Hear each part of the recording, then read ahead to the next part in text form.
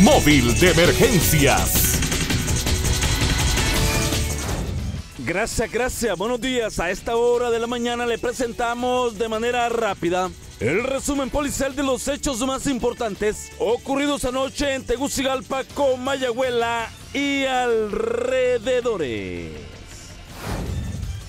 Ayer, en una quebrada de la colonia 28 de marzo en Tegucigalpa, se reportó el hallazgo de un joven que fue asesinado. El fallecido de unos 20 a 25 años aproximadamente, al momento del reconocimiento legal, no le fue encontrado documentos personales. El cadáver fue encontrado en una quebrada que colinda con la colonia San Miguel y la colonia 28 de marzo de esta capital. De acuerdo al reporte de las autoridades, el cuerpo presentaba varios impactos de bala. El informe establece que se recibió la alerta a través del 911, notificando que un joven estaba muerto en el sector. De inmediato se desplazó al lugar varios agentes preventivos y miembros de la Policía Militar del Orden Público para confirmar la escena. Posteriormente, el personal forense junto a los equipos de investigación y otras fuerzas de seguridad del Estado realizaron el trabajo del levantamiento legal. Esta mañana en la morgue del Ministerio Público, el cadáver aún no había sido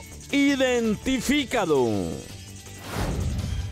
Esta madrugada en el Hospital Escuela se reportó la muerte de un hombre que fue impactado por un vehículo en el Valle de Amarateca. El fallecido fue identificado como Marcial Varela Reconco de 66 años, originario de Tegucigalpa y residente en la misma zona donde sufrió el mortal impacto. Según se informó, la víctima iba a bordo de una bicicleta y a la altura de Villa Oriente fue atropellado por el conductor de un vehículo que rápidamente se dio a la fuga. En estado delicado fue movilizado en una ambulancia al hospital escuela, donde lastimosamente fue reportado su fallecimiento. Los restos mortales del malogrado hombre fueron ingresados a la morgue judicial capitalina para los estudios legales. Ayer en la colonia Nueva Esperanza de Tegucigalpa se reportó la muerte de un anciano. Se trata de Concepción Salgado de 89 años, originario de Oropoli El Paraíso y residente en esta capital. Según sus familiares, la muerte fue por causas naturales. La funeraria Josué 19 en alianza con HCH realizó el donativo del ataúd. Josué 19 ayuda y HCH se mueve y moviliza y eso hasta el transporte, ustedes se encargan de eso, entonces eh, es la manera que tenemos de ayudar. Nosotros estamos ubicados aquí en la colonia Lomas del Norte con el número de teléfono 98 29 16 87 y 95 96 3352 2201 4753 búsquenos en Facebook.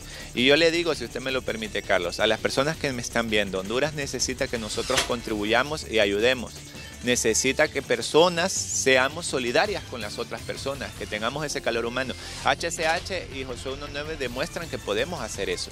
Con el afán de brindarle una mano solidaria a la familia dolente, el féretro fue llevado hasta la vivienda donde permanecía el anciano muerto. Anoche un joven perdió la vida por causas indeterminadas en la colonia Monteverde de Tegucigalpa. El fallecido fue identificado como Jaime José Padilla Sánchez, de 31 años, originario de San Francisco de la Paz, Olancho, y residente en la colonia Villa Olímpica de esta capital. El joven perdió la vida por causas que aún están en proceso de estudio en el Centro Médico Forense Capitalino. Su cadáver fue encontrado en el baño de la vivienda, de acuerdo al reporte de las autoridades.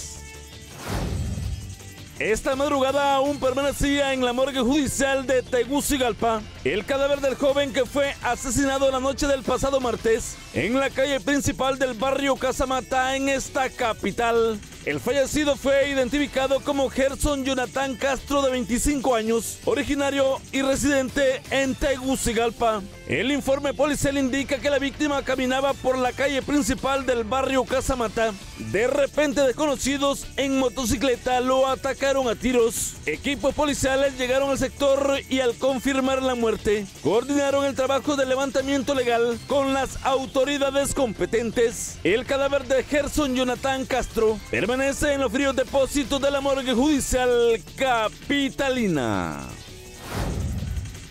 Con las imágenes de Carlos Soriano y el apoyo de Francisco Javier Quirós, y en nombre de todo un equipo en turno, para HCH les informó Carlos Raudales Maradiaga. Buenos días. Móvil de emergencias.